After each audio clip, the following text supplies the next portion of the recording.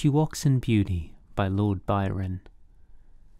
She walks in beauty like the night Of cloudless climes and starry skies, And all that's best of dark and bright Meet in her aspect and her eyes. Thus mellowed to that tender light Which heaven to gaudy day denies. One shade the more, one ray the less, Had half impaired the nameless grace Which waves in every raven tress, Or softly lightens o'er her face, Where thoughts serenely sweet express How pure, how dear the dwelling place.